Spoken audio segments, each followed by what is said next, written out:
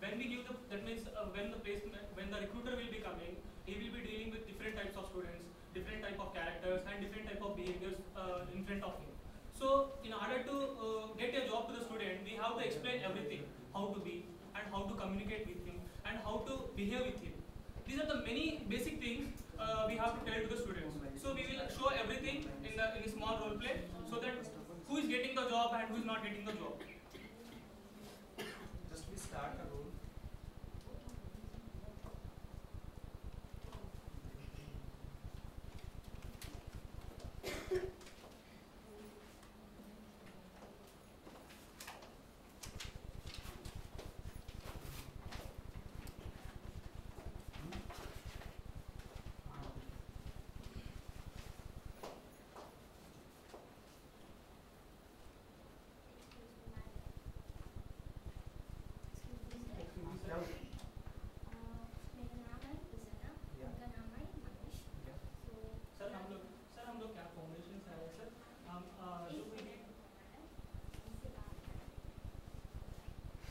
हम लोग क्या फाउंडेशन से आए सर हम लोग